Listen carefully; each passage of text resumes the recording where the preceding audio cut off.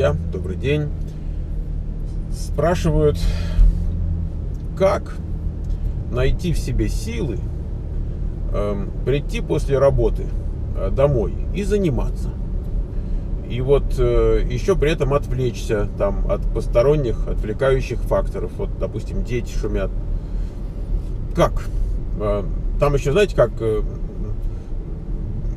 более так, значит, цепляет, чем просто вопрос. Там говорят, вот вы, говорят, там, да, два высших образования, говорит, там получал, книжки читал.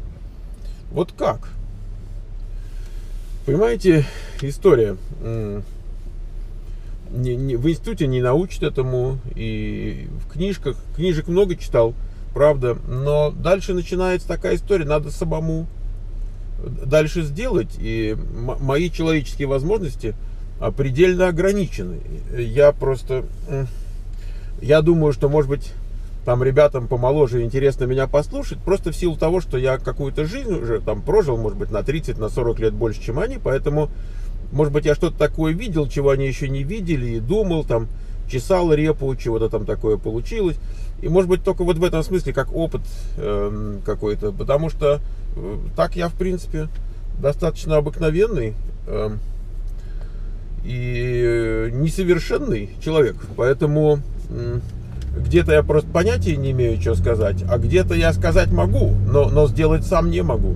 Я просто знаю, что так правильно, но э, чтобы самому сделать правильно, это, это же сложно.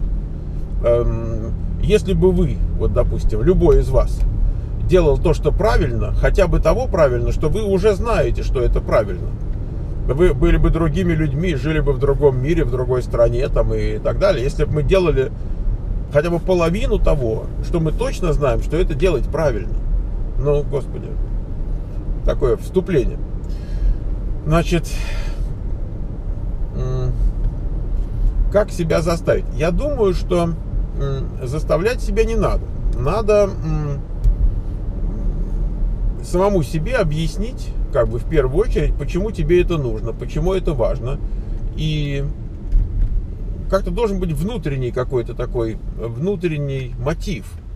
Эм, я много раз начинал и, и не завершал какие-то дела, потому что не было вот этого драйва, потому что я не выдерживал, потому что надо было что-то делать, а на короткой дистанции я бы пробежал, понимаете, а на длинной я уже не могу. У меня отвлекающие факторы и тут, и там, и здесь, и я столько всего должен делать там и так далее. Я помню, мне так хотелось поступить в аспирантуру, хотел, хотелось быть там кандидатом наук, а когда я поступил в аспирантуру, то меня, ну, меня ни разу не, не, не отчислили там или как бы, но я постоянно вот получал какие-нибудь письма, э, типа там вот третье, последнее напоминание, если вы к такому-то числу не представите следующую главу, то мы вас отчислим, чертовой матери.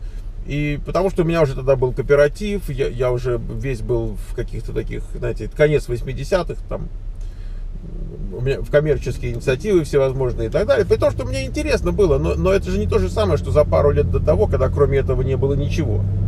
Понимаете? Поэтому, что ж тут скажешь, а, я за три дня писал эту главу несчастную, садился в поезд, ехал в город Казань, где находилась моя аспирантура.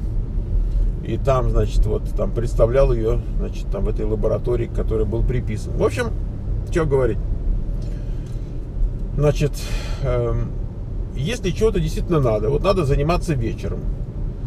Эм, это может быть, когда человек просто получает формальное образование, хотя у него, в принципе, и работа есть. Я, я очень хорошо понимаю, то есть оно тебе лично не нужно, для дела не нужно, а вот там где-то для чего-то, кому-то. Э, вот как Виолетта рассказывала, что она, когда режет мышей, там над вакциной работает, она и не замечает. А когда нужно порезать там пару тысяч мышей, просто потому что э, какой-то отчет надо закрыть, и никому от этого не холодно, не жарко, вот тогда противно делать. Так вот, да, ну, ну что делать? Э, есть люди, которые как-то вот волевые. Есть люди, которые, ну, им какой-то такой стимул нужен, может быть, внутренний. Вот я, я, я такой, что мне нужен стимул. Я на одной воле, например, не могу заниматься чем-то, что мне не хочется делать. Я не понимаю, зачем. Или так понимаю, но, но не настолько, чтобы там бросить то, что мне более интересно. Если отвлекают дети, которые рядом шумят, надо в библиотеку идти. А, а куда деваться-то, я, я не знаю. Ну, если нет условий дома, когда можно заниматься, то ты должен куда-то деться, потому что если ты не можешь заниматься, ты сидишь, а, тебя отвлекают, и тут отвлекают, и там отвлекают. Это очень стрессово, это создает очень негативное такое настроение, э, это создает утомление, это из всех абсолютно соображений, как, какие только могут быть, это нужно пресечь и либо вообще бросить это занятие, либо уйти в такое место, где тебя не дергают, где ты можешь реально продуктивно заниматься. Я, кстати, знаете, помню такое время, а, значит, у меня тема диссертации была по истории педагогики, по истории э, преподавания машинописи. Мне очень нравилась эта тема, потому что я занимался разработкой актуальной.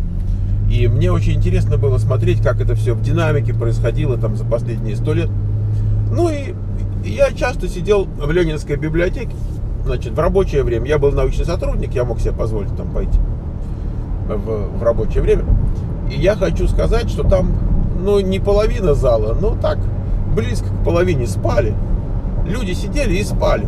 Вроде бы тихо там, тишина просто, муха пролетит, ты услышишь. Понимаете, тишина невероятно. Сидишь, там лампочка, столик, вроде все ничего.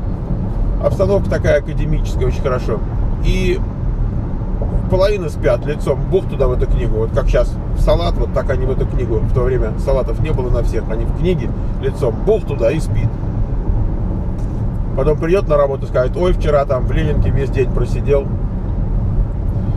Так что даже и библиотека, видите, как э, получается. А, а если еще и после работы, представляете там читальный зал какой-нибудь забиться. Я не знаю, есть ли сейчас читальные залы, где можно сидеть вечером. В наше время были. В общем, проблема. Ну, ну, конечно, нет какого-то такого решения, которое я сейчас из кармана вытащу и скажу.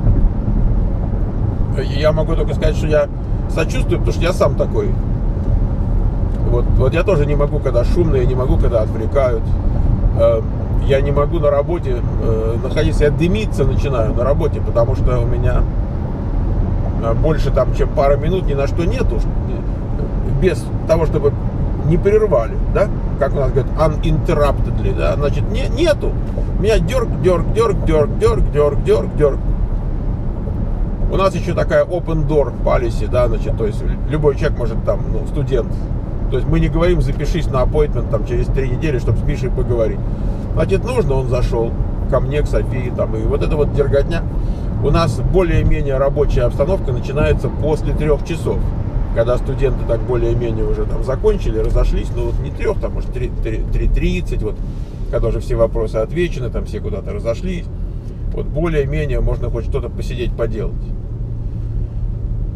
Тяжело жуть, жуть, когда тебя дергают и дергают, и у тебя в стек все уходит туда, вот э, приходит человек, скажите, говорит, а вот можно там что-то? Я говорю, можно, но у меня уже три дела, которые одно за другим переложены, и каждое следующее выше, ты будешь четвертым. Я, я, ну иди посиди там 10 минут, я за тобой зайду. Понимаете? Поэтому тяжело. Э, а если еще вечером, после работы? Хотя у меня лично после работы самая работа. У меня после работы тихо. И я могу спокойно сидеть тут до, до 8, до 9, до 10. И, э, ну вот, жена позвонит и говорит, ты где? Я говорю, ну, сейчас приеду. Там, мне близко, там, вечером минут 15 там, езды. Днем, вот видите, по такому трафику, как сейчас, может быть, 20-18. По продолжительности наших видео хорошо видно, сколько я на работу еду, правда? Так вот раз и поехал. Так что такая жизнь. И я вам хочу сказать, что у меня были такие дела по жизни, которые, когда тебя захватывает, когда ты э, этим занимаешься не потому, что внешне кто-то тебе там вот надавил, а сам внутренне. Ты вообще не замечаешь, сколько времени, сколько сил. А ты не замечаешь, кто там рядом был. Ты не, не слышишь ничего отвлекающего. Ты просто делаешь, э, ты упиваешься этим. И вот, вот надо по жизни искать такое занятие, которым ты можешь упиваться, реализовываться. И вот, вот настолько. Вот у меня было несколько раз такое в жизни и самые счастливые вообще дни, годы моей жизни были вот эти. Я помню, когда Светлана училась в аспирантуре, она в очной была. Вот я был в заочной, она была в очной аспирантуре. И э, у нее руководитель был потрясающий дядька, он потом был академиком, директором института, тогда он был просто доктор наук, зав кафедрой. Э, невероятный человек. И, а ей было 27, 28, такого плана. И она так это все, на крыльях летала, можно сказать, по жизни. И это тоже у меня одно из самых счастливых таких э, времен, полос моей жизни, одна из самых счастливых, потому что я находился рядом э, вот с, с таким бесконечно счастливым человеком, э, и это тоже очень здорово. Вообще муж и жена, если так они э, в тандеме э, живут, работают, у них как бы такая вибрация общая. Э, когда одному хорошо, то это на другого очень хорошо тоже действует, ему тоже становится хорошо.